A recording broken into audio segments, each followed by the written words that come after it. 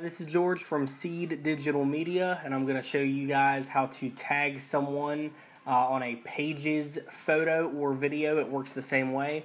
So we are here in the page, um, logged in as the page.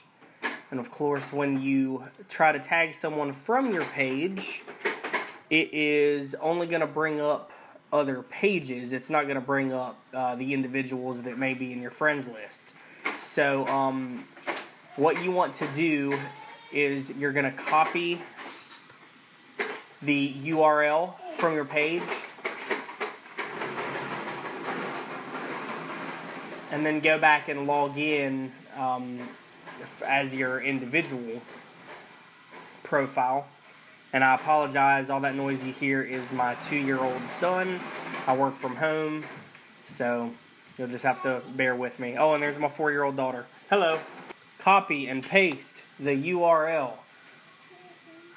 And then you will be able to tag